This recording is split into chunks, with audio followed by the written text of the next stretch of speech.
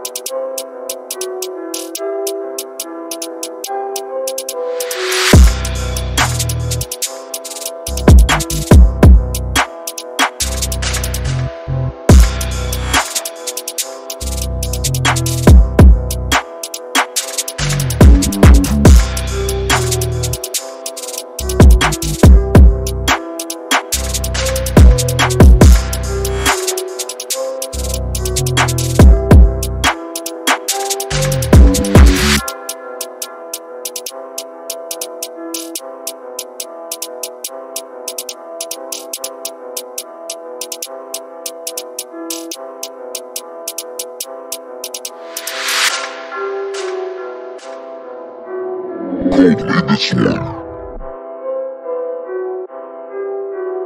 MP Productions.